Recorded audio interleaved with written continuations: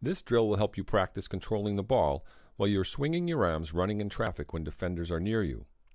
Hold the ball in one arm and swing your arms as if you were running. The ball should be held high and tight and should be protected by your forearm and chest. Every three seconds, switch the ball to the other arm by grabbing the upper tip of the ball with the arm not holding the ball and then rotate the ball to your other arm.